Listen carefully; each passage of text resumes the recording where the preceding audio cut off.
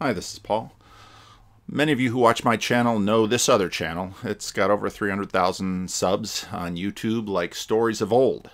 And it's sort of one of these movie preacher channels on YouTube. Why do I call them movie preacher channels? Because what preachers do is they break down uh, text and culture for the congregation and make things conscious that are actually colonizing and forming and inhabiting us at levels that are the conscious members of our consciousness, consciousness Congress aren't necessarily paying attention to. And so I did. I had a conversation with with Matt Miller uh, a couple of weeks ago. Uh, Matt does this kind of thing, and like Stories of Old is one of the best channels on YouTube that does this sort of thing. I did a little bit of poking around into it, and it's a Dutchman. You can kind of tell by his accent. He's got a he's got a very oh, kind of a mesmerizing voice. It's it's a little unusual, and his accent is a is a little unusual, at least for a lot of North American ears, but uh, very soothing, very engaging, very haunting, and just really draws you in in terms of in terms of his voice. And what he does is he breaks down movies and he shows the symbolism and he he he he he illuminates and he brings to the surface the kinds of things that are are beneath the surface again usually in in major major Hollywood movies. Now Hollywood for a long time has been the one of the chief religious formations of American culture. Just today, I saw Drew Dyck, who is an author up in Portland, Oregon, has written some Christian books. He's an evangelical. He's been on uh, the Phil Vischer um, uh, podcast. He's a friend with uh, with with Skye Jethani. Um, how's your church live stream going to complete compete with this? And there's this little clip of of Russell Crowe, ta- not Russell Crowe, Russell Brand, and and evangelicals. The the awareness of the church for what is happening at movies has a very interesting history. So, for example. Up until the 1960s, if you were in the Christian Reformed Church, going to movies was something that was sinful uh, even even my mother-in-law, who who was a fundamentalist Baptist, uh, didn't believe in going to movies because that would hurt your witness. Except that she could watch all the movies she wanted to on TV, and so you know, there's the uh, conservative churches have a very interesting relationship with movies. Now, I went to Calvin College. And by the time I went to Calvin College, the Christian Reformed Church was all down with spiritual discernment. Um, there's perhaps something in that model that's that imagines that the conscious gatekeeper is actually able to hold the gate. But if you you know look at other some of the conversation partners I've had on this channel, Matt Miller again with his um, Logos Made Flesh channel. Uh, Matt was a youth pastor, and of course Burn Power. Burn is a oh, Burn has just this encyclopedic knowledge of Western culture and um, has tremendous powers of deep discernment. I, I, told, I mentioned Burn Power, the name to my kids the other day, and that that's his name. I said, yeah, that's his name. That's his real name. Yeah, that's his real name. And um, and so Burn, of course, has the Anadromous channel, and and you can find you can find my conversation with him. But I just have the thumbnail to the the Joker conversation we had. So uh, Christian churches have have sort of been, uh, you know, playing both sides of the fence here. And if there's something true of evangelical culture, it it has often been to been to sort of make kind of a bad competing knockoff of cultural trends, but but try to smuggle Jesus in underneath and and sometimes they're cool. I remember Campus Life had Scream in the Dark when I was growing up, and you'd go to these Halloween haunted houses and and get terrified, and then after you went through the haunted house, you sat down for a gospel presentation. Uh, you had chalk art, and and of course the I was talking on the Discord server today. Was on the Discord server or someplace else? Well, I was talking about the fact that you know in the in the 80s and 90s, evangelical churches sort of approached culture. I think we're talking some to some degree about the antithesis. You know, the 80s and 90s approached culture and said, well, the the religiosity line, which I was been talking about in my videos lately, the religiosity line scares secular people, and so we're going to strip the we're going to strip the the worship center. We're not going to call it a sanctuary or any other those, those churchy sounding words. We're going to strip the worship center of crosses or anything like that and make it look like a, a junior college auditorium. And we're going to have the kind of um, pop or soft rock or smooth jazz that the people are used to listening to. And then we're just going to smuggle Jesus in under some wisdom. And that's pretty much what the seeker movement tried to do. Well, well, movies and TVs have been the primary conveyors in some ways of American religion for decades. And they both, and, and the propagandists for American culture all over the world and they both express and shape the beliefs of culture in ways that often compete and outstrip traditional forums of church and sermon. There was a decade or so ago, I was doing a lot of movie type sermons in my church where I would be taking the text and whatever issue I was dealing with in the text, and then I'd bring in a movie that I knew and have stills. And in, in many ways, a lot of that became the genesis of the PowerPoints that I use in creating my videos today to try to keep me from going ADHD all over the place. Well, like Stories of Old had its two most recent videos, at least as of uh, May 15, 2020, when I'm recording this video maybe the third one be, be, will be out. It's a three-part series. The the title of the series is Stories versus Reality, and that immediately caught my attention. And I get a lot of my good uh, links from the Discord server because one of the blessings of this Discord server is because people are watching my videos, they're thinking about the same things I am, and so they're using their broader knowledge to bring in book recommendations and links, and they pour that into the Discord server, and I pull it out of the Discord server, and it just creates this this communal conversation about a whole range of things. And you know, one of the things I really appreciate about the Discord server is, in fact, its diversity. You've got not only a diversity of Christian traditions, Orthodox, Roman Catholic, uh, fundamentalist, evangelical, people from all over the world, but but also you know atheists and and American Buddhist types and spiritual but not religious types, and so it's a it's a real hodgepodge, and so I get a nice diversity of sources through the Discord server, and that's where I, I picked this up. And once I saw the title, uh, once you see once I see that word reality, it's like, what reality are you talking about? And the first episode was the fundamental difference in this episode. Second episode is the life. Um, your life is not a hero's journey. And I thought, ooh, now we're getting countercultural. Now, the movie preacher genre is is pretty set right now on YouTube. It's a cultural liturgy, as Jamie Smith would say.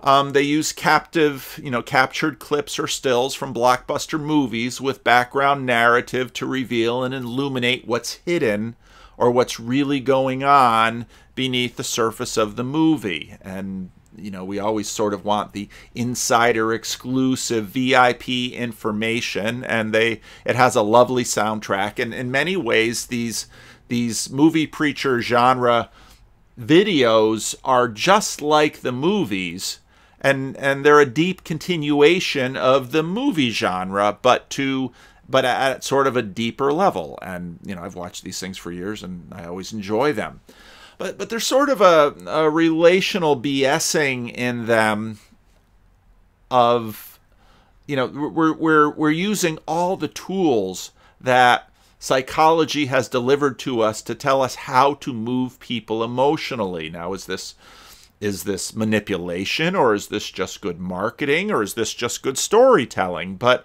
you know we've you know we see the there's there it's a con- especially these clips they're a concentration of powerful elements hollywood has perfected to move us emotionally while forming us with the with the movie preacher's own narrative subtext you know, the music swells, close up on the face, the dramatic moment where Frodo and Thorin, Orkin, you know, Oakenshield embrace. And of course, I grew up reading The Hobbit, and I watched the the Hobbit movies were not good, but still I watched them and I watched them all and I watched them all multiple times and I watched them all in the extended version because I didn't want to miss any of it and I could I could feel a little bit elitist by hating them and hating the CGI and all of that yet when I see even the movie Bilbo the young Bilbo from the Hobbit it's you know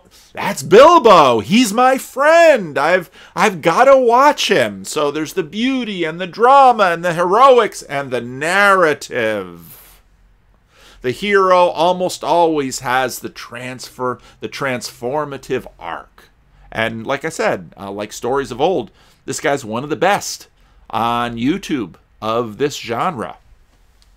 But the irony of this little series is that he's using the perfected, insanely expensive, profitable, and effective tools to undermine the foundations of the project itself.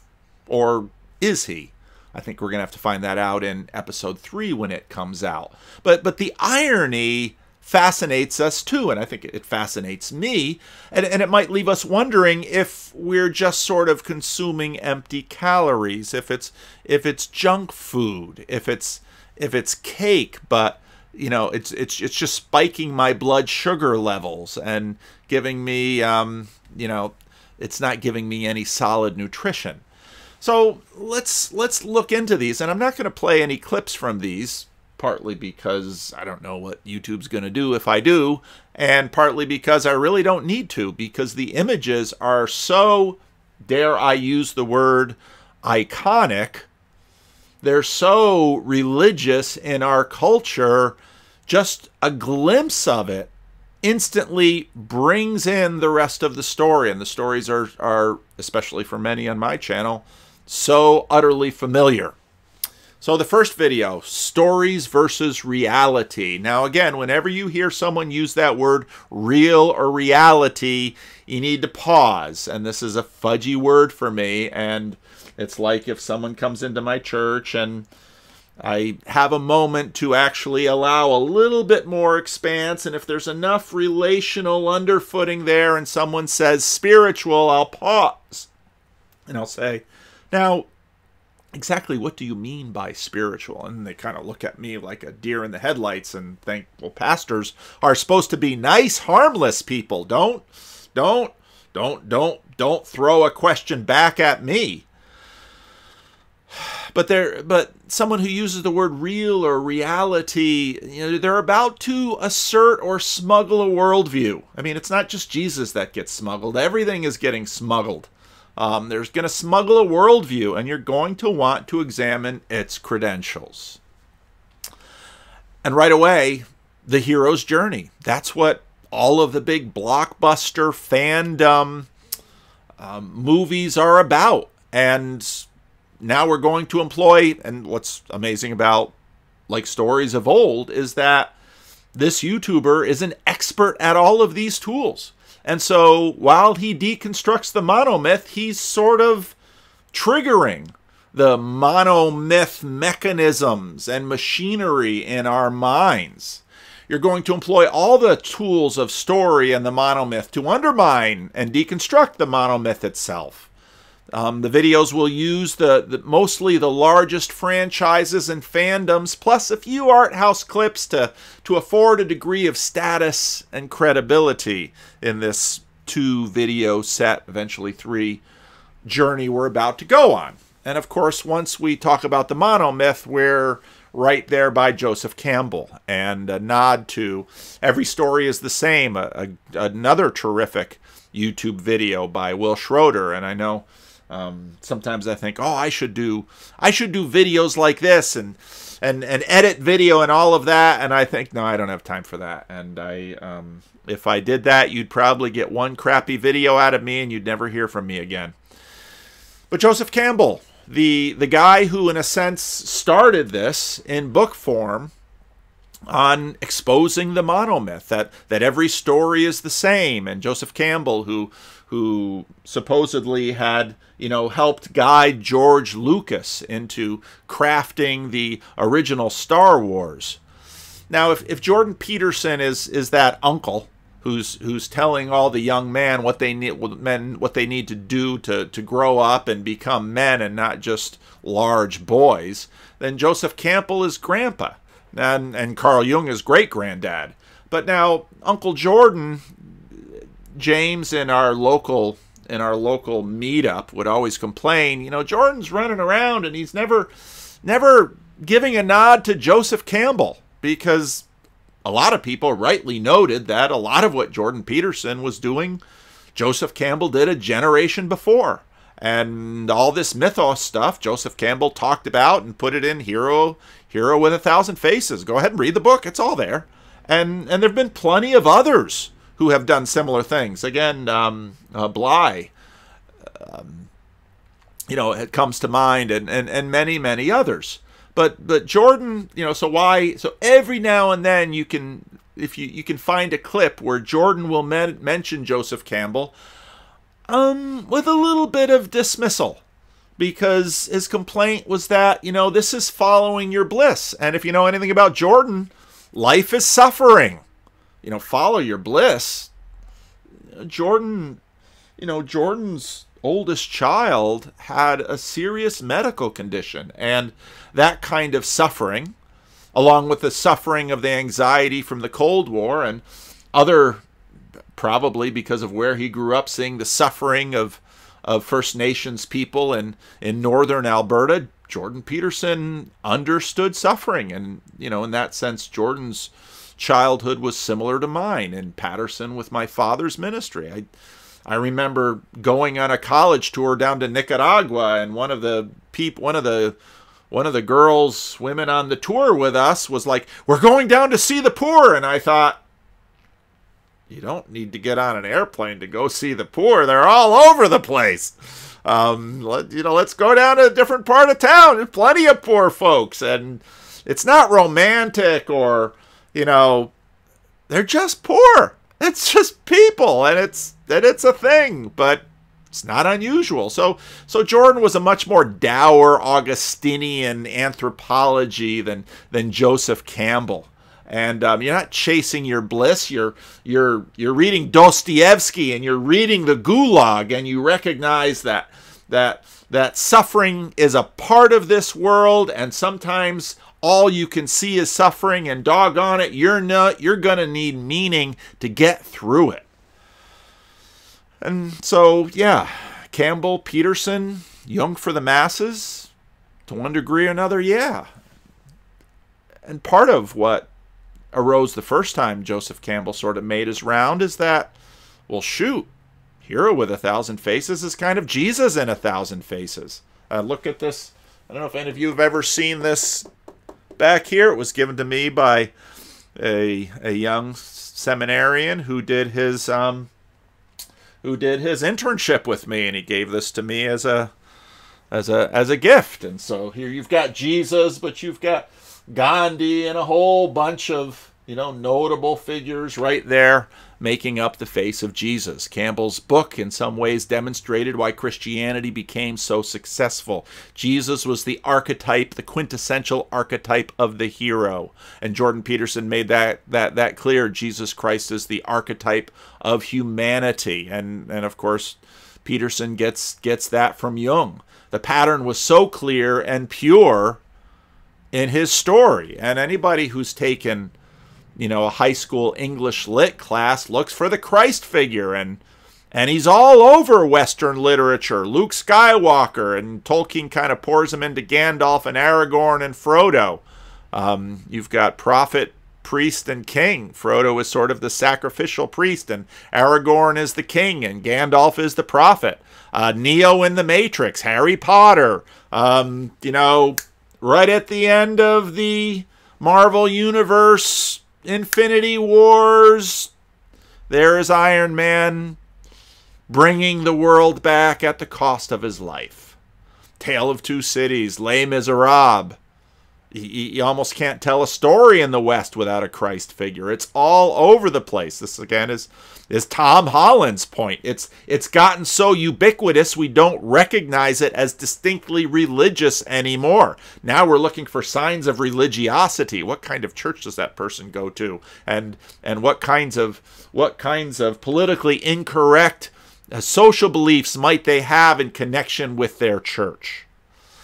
The powerful leading men gave their lives sacrificially for those who had no power to save themselves from the too powerful evil that threatened their world, their hope, their happiness, and their future.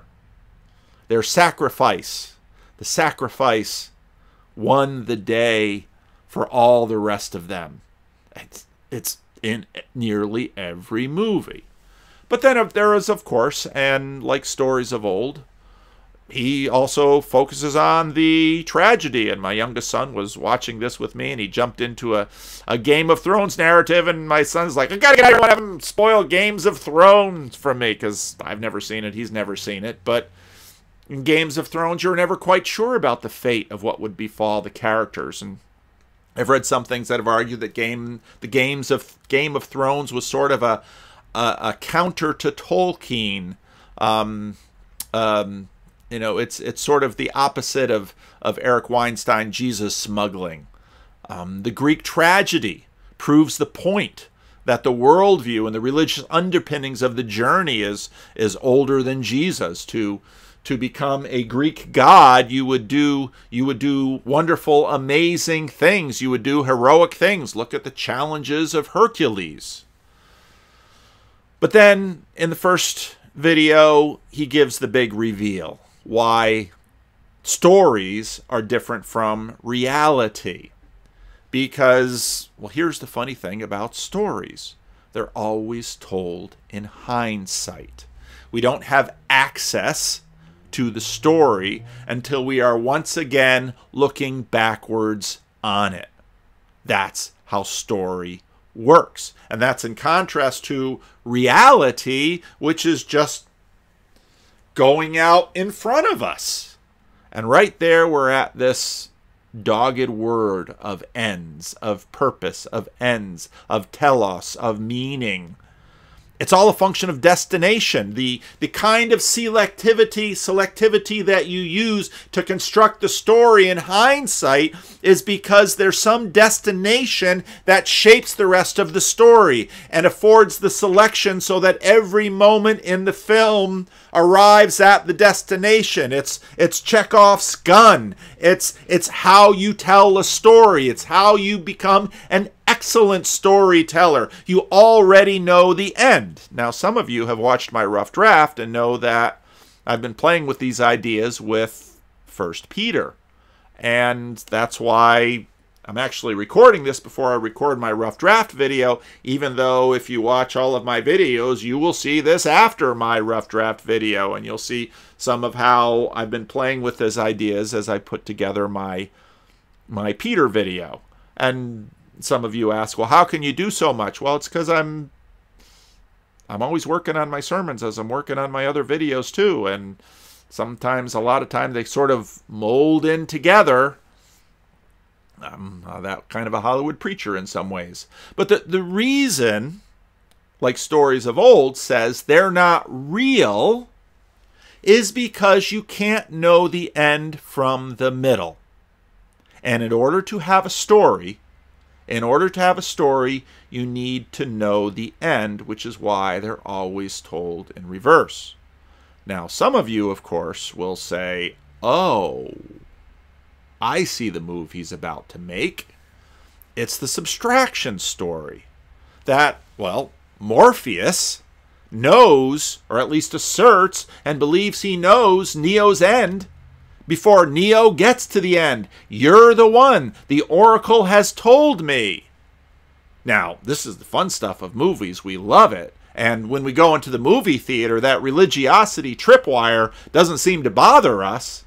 But out here in real life, oh, I'm prophecy, I'm sorry. And so, you know, if you look at the biblical commentaries behind me, well, you know, we can be pretty sure of the date of this because of this, this, and this, and uh, no prophecy. There's no, there's no, there's no gap for your prophecy, sir. Remember the lines, the lines I laid out in a previous video, the lines that are clear in secularity. No agency above us, no agency apart from us, and by all means, no miracles. And we'd, we'd have to talk more about that word, but you understand what I mean. It's close enough. Purpose was removed from the system to gain a scientific vision, and now we imagine the only knowledge we can have is scientific knowledge. Not really, of course, and we don't live like that because we live in the manifest image, but we like to pretend like we're masters of the scientific image, and it's only upon that safe room drawn from the scientific image that we actually move forward in life. So you tell the subtraction story, and you can have prophecy in movies, you can have story in movies, but no one knows where they're going. Therefore, story is fantasy, and it's not allowed. So, another word for this, popular word right now, disenchantment. Sorry, kids, stories are fun and you can feel the meaning and the journey. And so when that so when that that meaning crisis is hitting you, you know, you know, suck down some of that methadone, but stay away from the heroin, boys and girls. The heroin of imagining that this stuff really takes place. You've got story and reality, the fundamental difference. Sorry, kids, stories are fun for the feels, but please don't indulge in the primitive, low status, indecent, immoral sin of believing in it in your real life. Gotta, gotta, well, you've just been smuggled something. It wasn't Jesus, but you've just been smuggled something. A little Darwin, a little Freud, a little this, little that. It's been smuggled into you. And for the most part, if you go back and you look at the, um, I'm not playing it here, I've played it before. It's the Veritas Forum, Dallas Willard. You only get half of the two lectures that were given there. Probably didn't have the rights to do the first one, but Dallas Willard very correctly notes that for the most part, this stuff, this worldview is passed by insinuation and promises of status heightening or lowering. Oh, you're one of those who believe in prophecy. You're one of those believe in purpose. Well, don't you know Darwin proved there's no purpose? I'm not sure Darwin proved it. Darwin said it, and at that point in the culture, we all decided to agree. Or maybe some decided to agree. And those who decided to agree had the validation of that really cool trick of shutting one eye to the manifest image and working through science with the other. And then they said, I really only need this eye to see. I don't believe it. So When You Wish Upon a Star was in the 50s with its patriarchy and white supremacy. You're a muggle. Know your place. And then, of course, Jordan Peterson comes along and he muddies the waters. He's almost a heretic, and he's he's right there on the line. And he gives he gives he gives Sam Harris the heebie-jeebies, and and and Brad is you know trying to do some translation between Sam and. If you watch another video, I actually because I had a little conversation on Twitter. You've got Pageau, and you've got Peterson, and then you've got Brett, and you've got Sam, and that's about where they line up. And of course, Rationality Rules is Jesus smuggling video, which I thought was a tremendous video because I thought everything he said, or almost everything he said in that video, was really right. That, that Jordan Peterson doesn't really smuggle Jesus. He doesn't really cross the line. He just makes that stairway to heaven and says, Well, that's about as much as I can say in my Darwinian frame publicly, speaking as a psychologist and shuts up there, and everybody else just follows the stairs right up on over the line. Jordan Peterson comes along and goes just up to the line and won't rule out that there's a land beyond. And as Mouthy Buddha said, well, I just saw on the Uber Boyos channel, look at this. They're playing my game. They're doing interviews with some guy who went to London from Hungary, had a good high status job, you know, was an atheist, started listening to Jordan Peterson, flopped all the way over into the church. Now he's LARPing his way to kingdom come. So, the journey story versus reality. The selective elements of the story are used to achieve an end. That's how stories are told. You are the central or at least an important part of the story, which has its purpose, and this affords meaning and motivation which are deeply interwoven. That's the promise of the journey. But that's story, not reality. Reality there's no purpose, destiny, plan, or telos. Your life is a series of random events. Emotions and experiences can be good or bad, so shoot for the good. Only the end. Well, you, I thought you said we couldn't know the end. Well, well, we don't know, like, if you're gonna get the girl or get the job or win the war or any of those things, but there's one end we do know and that's you're going to die. And and so now if you just kind of if you're an American, you push that away as far as you can and I forget what's his what's his head had him in a video before. Suddenly death crops up and we're like what are you doing here? You didn't expect me? Oh, you knew all along. You knew when you were a child and your guinea pig died. You knew when you were a kid and you, you brought your doggy to the vet. And you knew when you went to your grandma's funeral. And shh, we don't talk about this. The only end is your grave and then the death of all things, including memory. And so if you watch The Good Place, well, well, that's what gives meaning, life meaning. It's the end still gives life meaning. It's death. But then a bunch of people begin to say, but then what does the middle matter? And others say, no, no, no, no, no. But that's awfully hard to expel. Stories have characters. Heroes go on journeys and achieve great things. We can't get enough of stories that work that way. We're addicts to it. Now we have a pandemic. Do your civic pride and sit at home and watch Netflix. Watch it a lot. Now suddenly the kids have an excuse, pounding down Netflix, story after story, show after show. There's not a lot of meaning in my regular life, so I'm on the methadone of Netflix and I just keep sucking that meaning down vicariously. They're addictive because we imaginatively cast ourselves into the story, experience the thrill of an illusory, framed purpose, and vicarious, vicariously, perhaps parasitically, suck out the joyful marrow of meaning from all of these stories that wrap things up in 48 minutes or an hour or two hours, or maybe it's a whole series, so we can go longer and longer and longer. And there are heroes here, and of course, the Greeks knew all about heroes. You're a son of Zeus, after all. Now, and again, like stories of old, this guy is sharp. He's he's top of his game. He says, uh, by the way, those heroes that have the muscles and the abs and the good looks and the strength and and all of that, that Hollywood has conjured up that image for you, that being of light that you're taking in, eh, it probably ain't you. You know what it takes to look like that? Hours in the gym and maybe some roids. And a lot of people, they just get it by their DNA. And and and the Greeks understood this. It's birthright. It's demigods.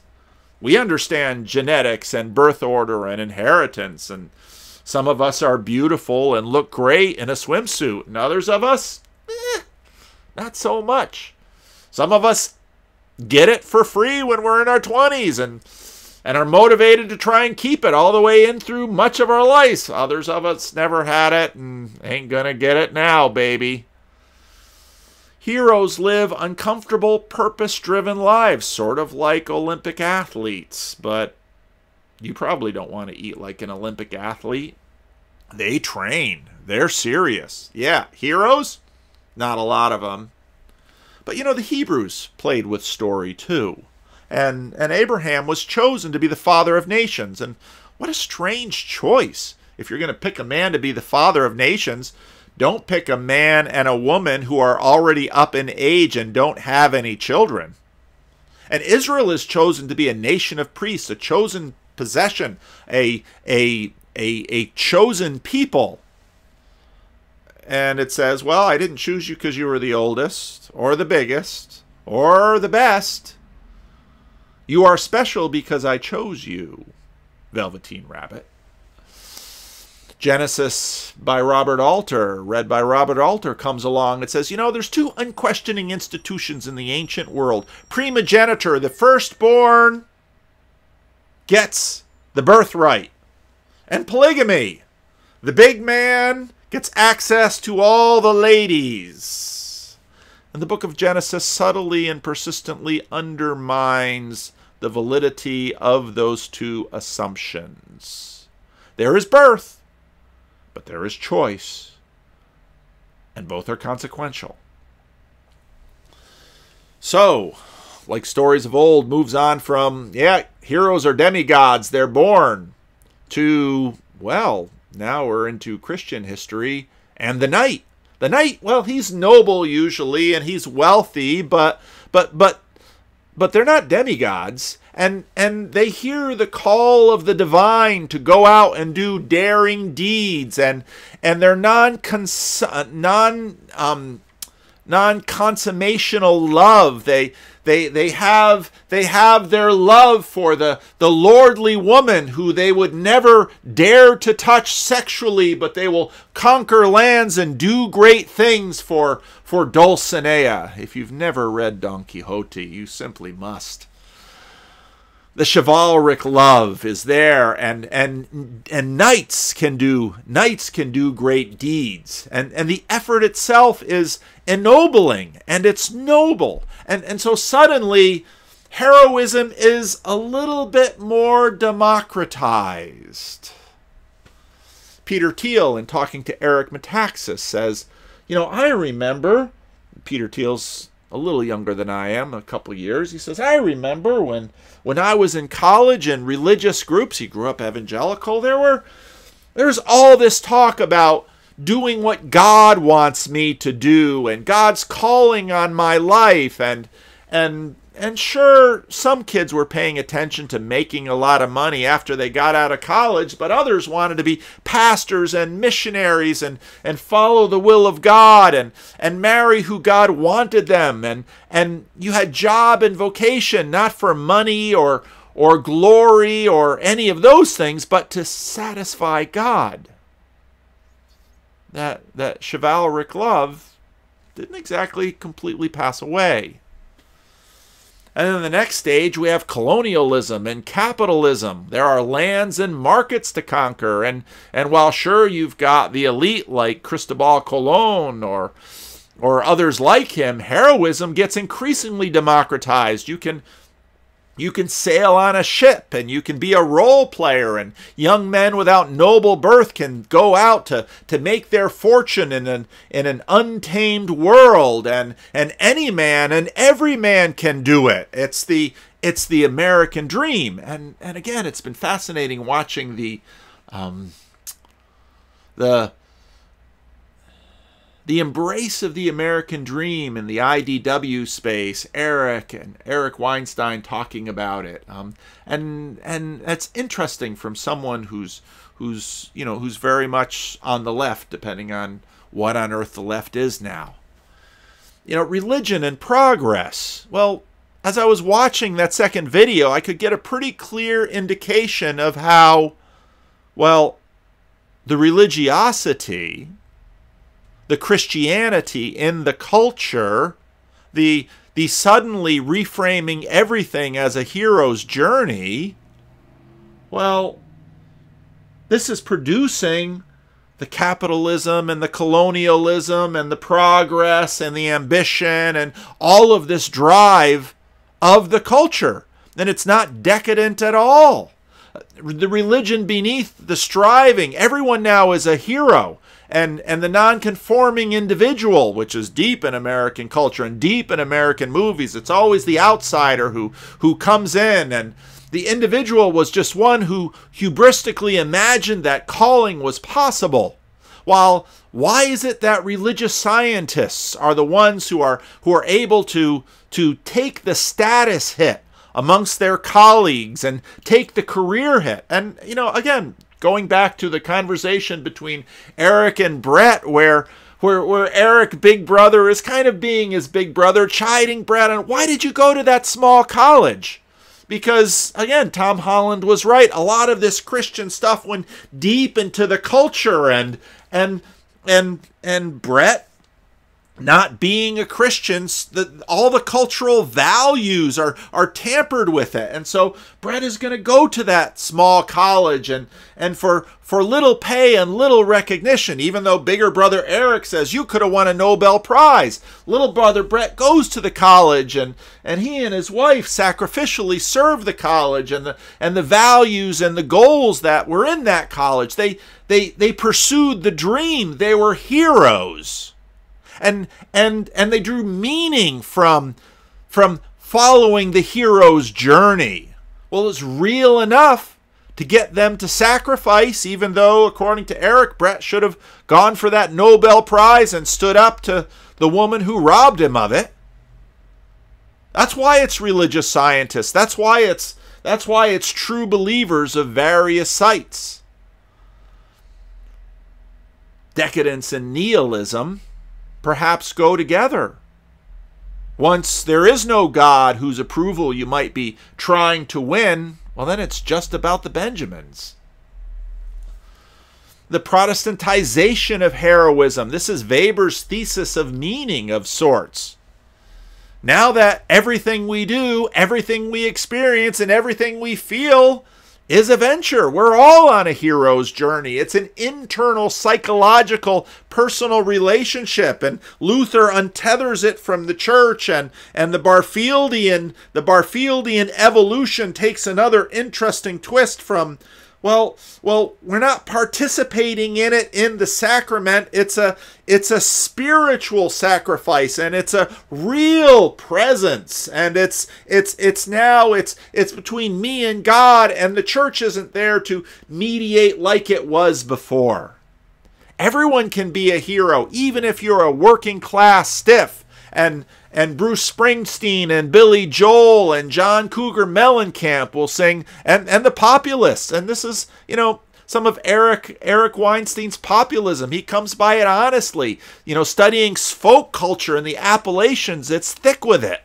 And and how did this get in here Jesus. Jesus got smuggled in. Jesus, the hero, the hero who doesn't come in a chariot of fire down from heaven blazing like Apollo. Jesus comes, and lo, he abhors not the virgin's womb. And the first 30 years of his life, he's working as a carpenter or a construction worker. He's a blue collar guy. Boy, this this plays, this sings, and so the the the hero, the lunch pail hero, goes to work in the coal mine. And I'm proud to be a coal miner's daughter. And I'm I'm proud to be a mother. And and Abraham Kuyper God claims every square inch of this world and says it is mine. And and Martin Luther every every vocation stands before God. It's one speed not two. Go back and read Andrew Root's narrative once more. It's one speed, not two. The the construction worker and the janitor and the and the mother and the nurse and the and and no matter how low, it's an honorable education. And doggone it, we love the working man in a way a Greek never could. Because if you were a Greek aristocrat, aristocrat, you did not work with your hands. You had slaves for that. But here in America, Chicago, the city of broad shoulders, we work, and work is the hero's journey. It's everywhere. It's Weber's thesis of meaning. There's also the Arminian challenge that arises. If Weber saw how Calvinism drove men to success and wealth, well, Arminius comes along and says, It's yours to lose, buddy. It's up to you. So you'd better work hard. It's up to you to grasp your purpose. Means that when we fail, it's your own darn fault. But of course, at some point we realize, well, all these representations in the movies, these are men. And they're doing manly things to, to hear the lamentation of the women. Movie representations are mostly white men, and if story creates meaning, then women are excluded. And, and where we're in this religious relationship with the movie screen, and we're no longer getting it from church and we're only getting it from the movies, well, we'd better have theological correctness in the movies. So we have Lady Avengers, but like stories of old, notices exactly what Jonathan Pageau notices that, well, we still adhere to the underlying idea that it's some kind of subversion to the status quo, or does portraying a woman in a traditionally male part only erase her womanhood? The American movie genre, I, I just caught a bit of, of uh, John Vervaeke's question and answer today, and, you know, he named it as well. If, if we turn all the women into into masculine heroes, suddenly the feminine heroic is gone. You know, Elaine Pagel talking to Jordan, not Elaine Pagel, um, Paglia, mm, talking to Jordan Peterson. It was a great conversation. It, she recognizes it, the feminine heroism. Well, in the Hebrew scriptures, a woman who had many sons was a hero. Mother Russia, the woman with many sons, is a hero. Women have had their feminine ways of being heroic for, for, for millennia. Suddenly, ironically, in our attempt to theologically correct all of our movies, we've downgraded the feminine. And now, just like uh, you can only be a man, a hero, if you've got big muscles and and a six pack, well, you can only be a woman if you can bring home the bacon and fry it up in a pan and never let you forget that I'm a. It doesn't work with me. But yeah, I mean, look at these women. They're just the counterpart of all of the men, aren't they? So we'll wait for part three. But I suspect I already know what they're going to say. Maybe I'll be wrong. I'm looking forward to it. It's a movie after all, but it's sort of Sam Harris. Well, enjoy the movie. You don't have any agency in it, but while your life is finally futile and the only end that science, scientific knowledge affords you is the grave, have a good time before then. Don't worry about that grave. Is it really a mistake that our culture has lived in denial of death and, well, you know, questions about COVID, they're kind of triggering all of these lines, aren't they? Oh, but just enjoy the movie. Keep sucking on the methadone of Netflix. But the irony of postmodernity a la Scott Adams, since we can't know reality, all we have is our filters and we can see what what what is able to at least predict. Well, you no, don't ask what you are and don't ask where you come from and don't ask where your desires come from. Those are spiritual questions. You can manipulate the interface to make you happy. What about meaning? We readily and nobly sacrifice happiness for meaning. But if all we can afford is really happiness, well, then I guess that's that. Can you tell I should not believe? On what basis, however, is your nihilistic frame? And that's always where I wind up when I kind of run through all of the arguments and again, this is I've been doing this for years before I got to this video, and as I said in my previous video, why for so many years did I read C.S. Lewis's Miracles two, three times a year? Because I run through the I run through the arguments and I wind up in postmodernity, and you know what I discover? If I'm sitting here with Sam, with Scott, not Sam Adams.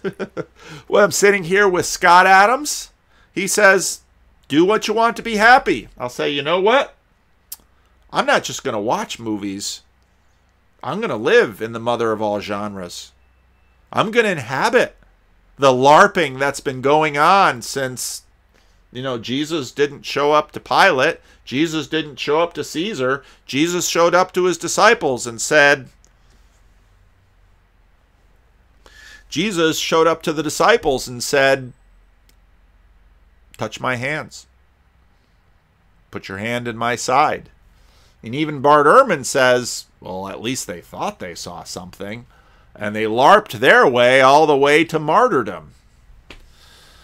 And that's the dangerous thing about Jordan Peterson. And that's why Sam Harris rightly gets nervous. And that's why Rationality Rules can't stop making videos, kind of like me. Where maybe me and me and and Stefan, maybe Brett is right, and we ought to have that conversation. I'm happy to have that conversation. It's not going to be a fight. Watch my conversation with, uh, you know, we'll have a perfectly lovely conversation. I'm a nice guy. Ask anybody, and a lot of people say I'm too nice.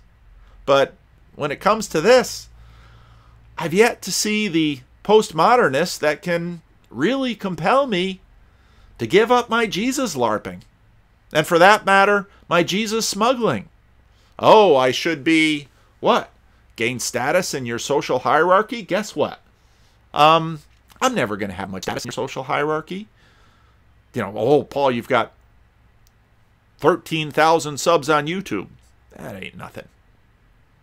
Like Stories of Old has 300,000. Tom Brady wins the Super Bowl, marries a supermodel, has all kinds of money. Go ahead and read that Sports Illustrated. I could have, I'd have to dig it up out of my resources, but ask the question is this all there is? No amount.